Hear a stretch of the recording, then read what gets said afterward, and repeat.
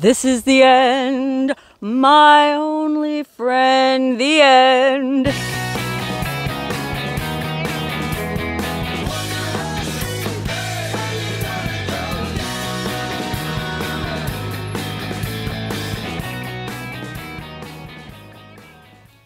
Hello, Wonderhussy here, way down south at the US-Mexican border. That's right, this is the border fence or the wall stretching out behind me there. You can see for scale, there's my rig. It's a mighty wall. Unfortunately, I don't think it's doing what it's supposed to. Anyway, that's not the reason why I'm down here. I'm down here because I wanted to see for myself with my own two eyes the very end of the mighty Colorado River. That's right, the mighty Colorado River that flows over 1,400 miles from the Rocky Mountains, where it first seeps out of the ground around 10,000 feet above sea level. And if you watched my video where I hiked to the headwaters of the Colorado River, way up in Colorado near the Wyoming border, you might remember that I skinny dipped in the headwaters and I even filtered some of the water to make a bourbon and Colorado River water cocktail to toast the long life of this, well, once mighty river. Unfortunately, I don't think there's a filter strong enough in this world that I would trust to make a cocktail with this end of the river. And besides, I can't even get to the end of the river because the dang wall is in the way. Uh, apparently, it kind of meanders through the desert on the other side of this fence. Uh, well, let me see if I can peek through the fence and give you an idea of what I'm talking about before I get chased away by Border Patrol, which frankly I'm surprised I haven't already been because I've seen a few of them down here. They're all posted up at the side of this. This is a canal that's irrigating all these farm fields here uh, on the U.S. side of the border down by Yuma, Arizona. That is not the Colorado River. The river is over there somewhere between these bars. You might be able to see there's like sand dunes and very dry desert. Oh, here's the Border Patrol. Oh, far out. That guy was actually super cool. Uh, I told him what I was doing and he didn't say I had to leave. So I'm just going to go back and show you what I was trying to show you between the bars of this dang wall. Which, by the way, you know, when's the last time you got to see the infamous border wall up close and personal like this? Pretty sexy, huh? There he goes, trusting me to do my thing on YouTube and not try to sneak into Mexico. it is kind of weird. Like, he barely asked me any questions. I mean, if I was him, I wouldn't have believed me. What, you're obsessed with the Colorado River and you're making a video for your YouTube channel about the end of it? Anyway, back to this sexy border wall. We're just going to slip our camera right between the bars. Oh no, look at that. Now we're in Mexico. or I guess you guys are in Mexico. I'm still here in the good old US of A. Anyway, what I was trying to say is the end of the Colorado River is somewhere out there in that well, if you look in the distance, and I'm going to have to zoom in because I couldn't get there on foot or by vehicle, you can see it's like, it's desert, man. It's just sand dunes, scrub, like it's pretty arid. But I guess the river does sort of wind through even that dusty, arid sand field. And, well, from if what I can believe from what I saw on Google Maps, it looks like it just kind of peters out in the middle of that sandy area. I mean, if you look at the satellite view on Google Maps, which I did, and I pinned where I thought I would be able to drive to, it just kind of like sinks, the, the river just sort of like peters out, sinks into the sand. Ugh, let me get this camera back over in the US. Ugh, welcome back, y'all. Anyway, uh, this didn't used to be the end of the Colorado River, okay, historically, before man in his infinite wisdom diverted its waters to feed his golf courses and strawberry patches, the Colorado River used to run all the way from the headwaters in the Rocky Mountains to the Gulf of California by Baja, California in Mexico, okay, the Sea of Cortez. That's where the river used to come out. You know, why am I peeking through this fence? That guy left me alone to my own devices. I guess I can just, well, there's like this weird little footpath over here that I, looks like I can just go right down around the fence or wall, whatever you want to call it. I mean, look at this. okay, there's the wall. That's Merca. That's Mexico. Okay, actually, I'm being facetious. I don't think Mexico starts right here. I think there's some kind of like buffer, no man's land type thing.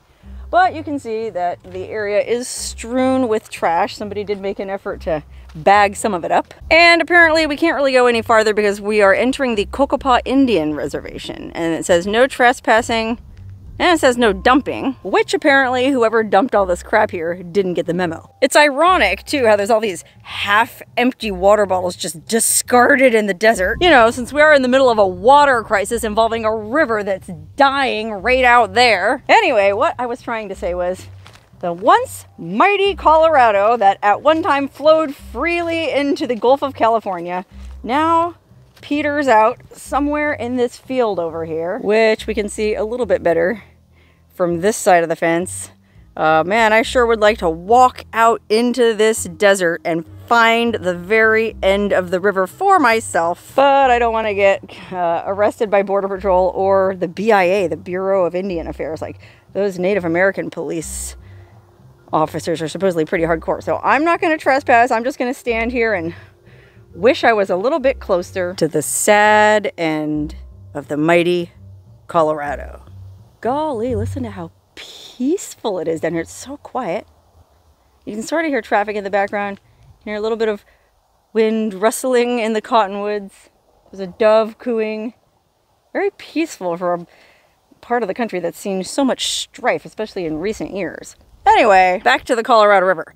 Like I was saying, uh, by the time it gets down here to the Mexican border, this river has made it over 1,400 miles through seven states, through mountains and deserts and forests, through 15 dams, two giant man-made fake lakes, and under one painstakingly deconstructed and reassembled historic English bridge. That's right, by the 1960s, the famous London Bridge in London, England could no longer support the amount of traffic crossing it, so it was sold to a real estate developer who had it disassembled, shipped, and trucked out to the Arizona desert, where he put it back together at Lake Havasu.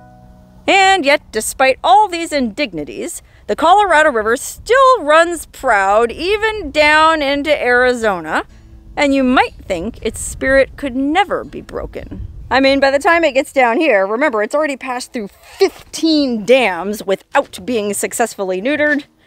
But when it gets down this far south, well, it kind of meets the final boss. And that boss is a real ball breaker.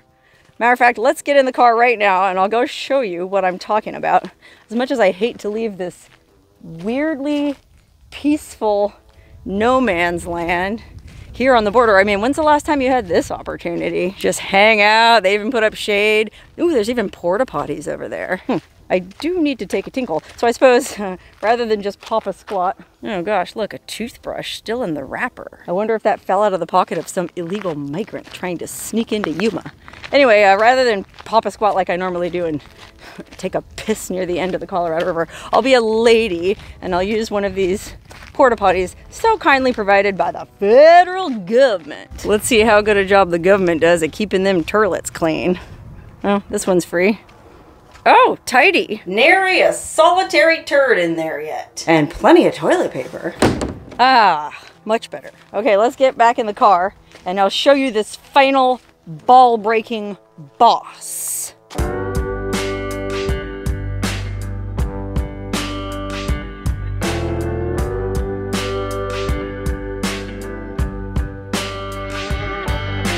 Okay, as if the other 14 dams the Colorado River goes through on its journey south from the Rocky Mountains weren't enough, this 15th dam is the final boss. This is the Imperial Dam.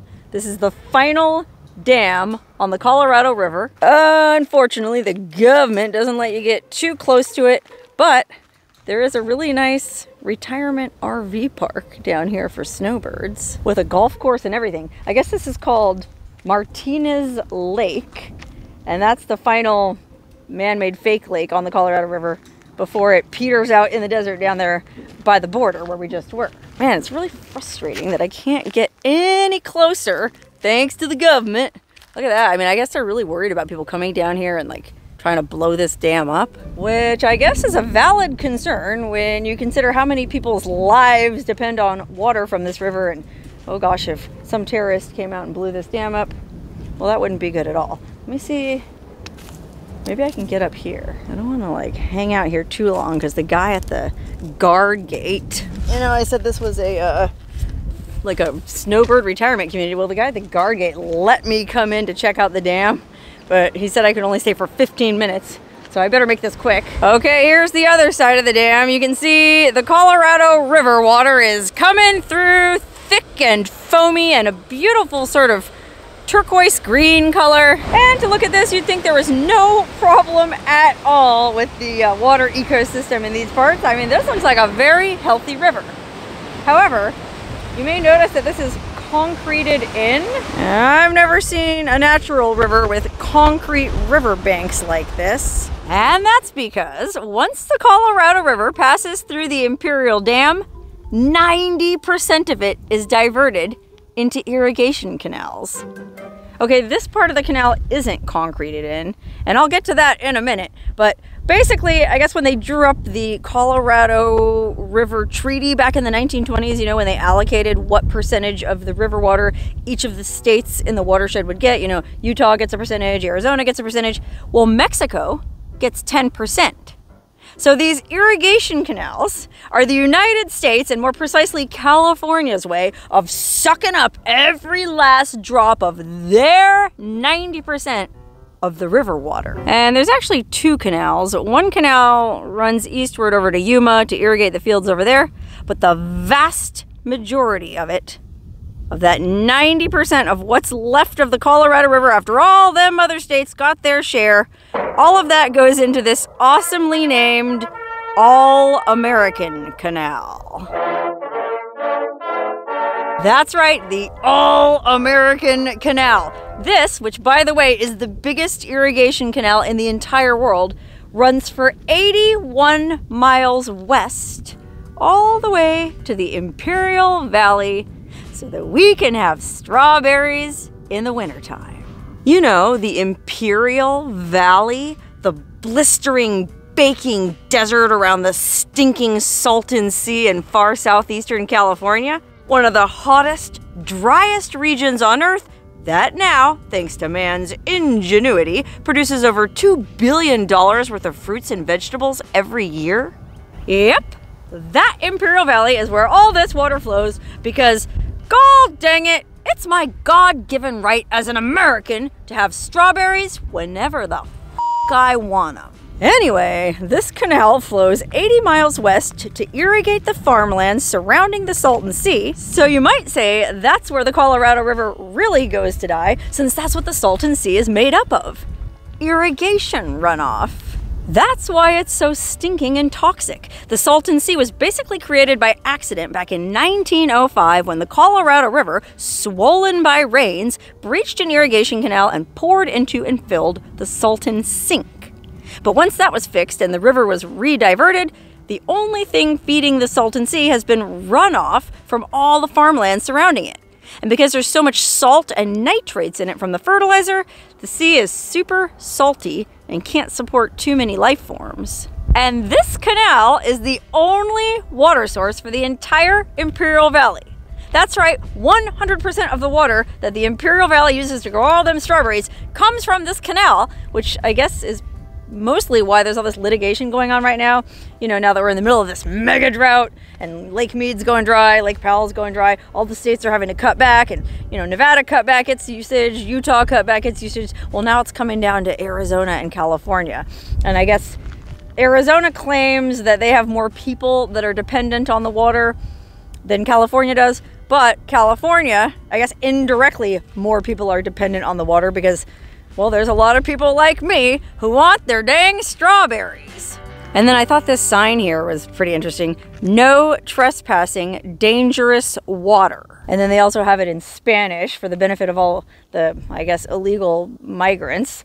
No traspasar aguas peligrosas. And then it says All American Canal Imperial Irrigation District. Well, the reason they have that up is apparently something like 500 people have drowned in this canal since they constructed it because we are, you know, you saw I was right at the border fence earlier in this video. We're right by the border. So a lot of illegal migrants do try to cross this canal. And apparently, I mean, you can't really tell from up here, but apparently it's really deep, really cold, and has a relatively fast current. I think I read online that the current is something like five miles per hour, which I guess is a pretty fast current or hard to struggle against, especially when you're in really deep cold water. And the banks are really steep on either side, so it's hard to climb out. So yeah, something like 500 people have drowned in this canal, and that's why they have to have those warning signs up. But I'm thinking, golly, if I've already done everything that you have to do to get this far into your illegal border crossing journey, mm, I don't feel like a few signs would get in my way. Anyway, one other interesting thing about this canal, and it goes back to what I was saying about it not being concreted in here. Well, I guess it was concreted in back at the dam because they go through this very complicated process of desilting the water. They somehow suck out all the silt and pump it back into the riverbed farther upstream so that just the fresh, pure, clean water flows through this canal and goes on down to irrigate the farm fields in the Imperial Valley. Well, apparently they were losing a lot of water to seepage every year because it's not concreted in. Um, so water would just naturally seep into the ground. Uh, and well, you know, times are tough right now. Water's tight. Whiskey's for drinking, water's for fighting. All these water wars going on.